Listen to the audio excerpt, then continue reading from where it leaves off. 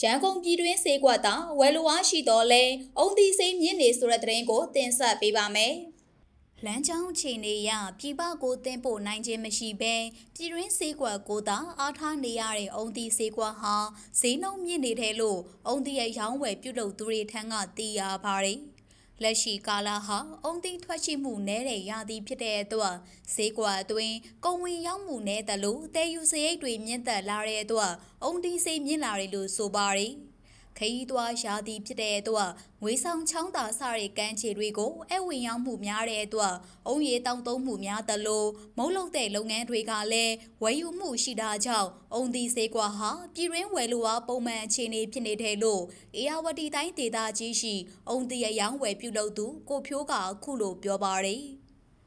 လွန်ခဲ့တဲ့တလားလောက်ကတည်းကနည်းနည်းအေးလွန်ခဲ့တဲ့တလားလောက်ကရောင်းဝယ်လေးမနေကောင်းကျွန်တော်တို့အယောင်နည်းနည်းအေးတယ်လို့ပြောလို့ရတယ်ပထမလာနေရှင်တော့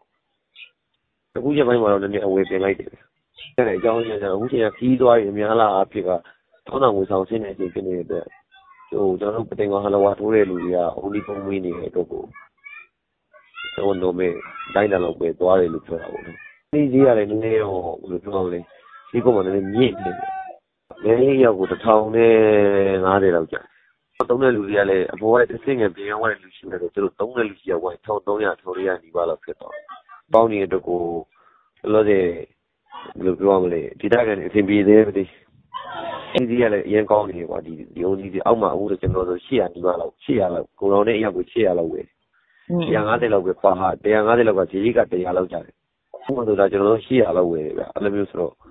ဟိုတလုံး800တော့မိုင် only တစ်ထောက်ကိုလိုမှရှိသေးတယ် အခုလိုအုံတီစေးမြင့်နေတဲ့အတွက်ဒေတာသွင်းအုံချံပိုင်ရှင်တွေအတွက်အဆင်ပြေပေမဲ့ဈေးကွာတည်ငြိမ်မှုမရှိခြင်းနဲ့တည်ယူပို့ဆောင်စရိတ်မြင့်လာတဲ့အတွက်အုံတီဝယ်ရောင်းပြုလုပ်သူတွေအနေနဲ့တော့အခက်အခဲဖြစ်စေတယ်လို့ဆိုပါတယ်။